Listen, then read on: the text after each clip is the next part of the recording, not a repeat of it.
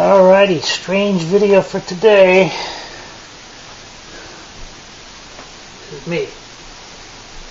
These are crutches. This is post-operation. I don't know if you can see the knee too well. I'll try to adjust the camera here in a second. But uh, knee's operated on. Still all puffy. Still all messed up. Not as bad as it was the last two weeks. But uh, first time I've had surgery.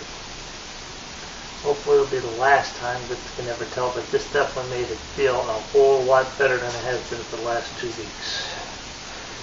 So here's it looks like a little bit closer. I think I can get that way. Have the camera on down. Can't quite see it all too well. But uh, getting around on crutches.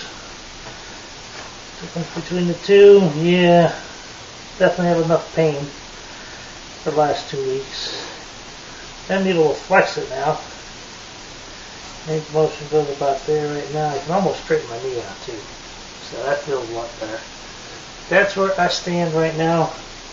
Rehabbing. More to come.